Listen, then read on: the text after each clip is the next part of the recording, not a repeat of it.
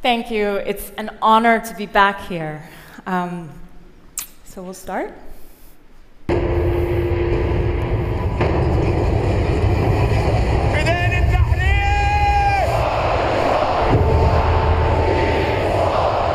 Three years ago, I stood in that square and did the only thing I knew how to do film what was happening. Doctors were helping the injured, singers sang to encourage the protesters.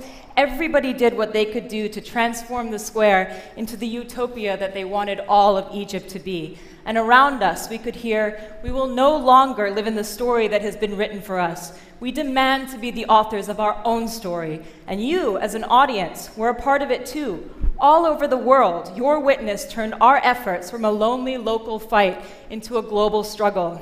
I met Ahmed Hassan in the square and fell in love with his beautiful spirit. Ahmed is one of the authors of Egypt's future. ميدان التحرير غير مصر بالكامل أثر في العالم كله ما عندهاش استعداد إنها تخرس ولا يتقفل بقها ولو لمرة واحدة في حياتها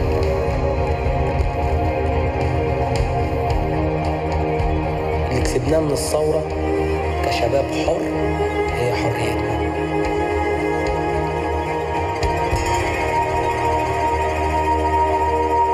كنا بنحلم إن احنا نشوف مصر كلها زي مصر ميدان التحرير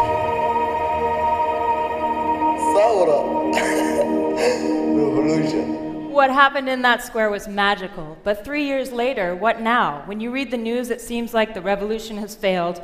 We've lost dear friends and have many more in jail.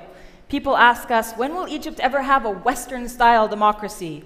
But the success or failure of the revolution cannot be determined only by the most recent political outcomes. If I have learned anything over the past three years, democracy is a journey, not a destination, and the hope that I see is in the streets. And with a younger generation that refuses to be silenced, refuses to have their story written for them. The truth may not always be shown on television, but it's being painted on the walls, tweeted, shared. When an injustice is done, it is filmed and uploaded. When an innocent is hurt or killed, their memory is honored across all the downtown walls.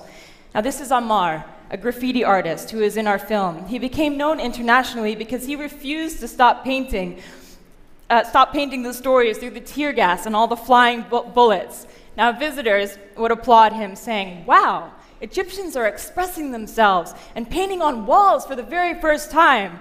He would sit back and joke and say, Well, we have been painting on walls for 5,000 years, but yes, our voices will be heard. We will continue to write the story of our future. Now, there may not be one leader that has come out of the revolution yet, but as Ahmed says, this is bigger than one leader. احنا ما بندورش على قائد يحكمنا لأن كل واحد نزل ميدان التحرير وهو بيتمتع بالقيادة احنا بندور على أمير The Square has been released on Netflix in 50 countries. Ahmed's words, We're looking for a conscience, has been tweeted into dozens of languages. The Square has now been seen by millions. But no, Chris, we did not win the Hollywood Oscar of a couple weeks ago. But again, the Cairo streets wrote their own story. A few hours after the Oscars were announced, the K gave us the Oscar of the street, the Cairo streets, and that is the best Oscar we could have possibly imagined. And now a new story is being written in our increasingly borderless world as protesters are translating and showing our film themselves in squares in Kiev, Caracas, and Moscow, and other squares, medans, plazas, and piazzas across the world. Truth and courage are contagious. So catch them while, they while you can, and my wish for you is you find your own square. Thank you very much.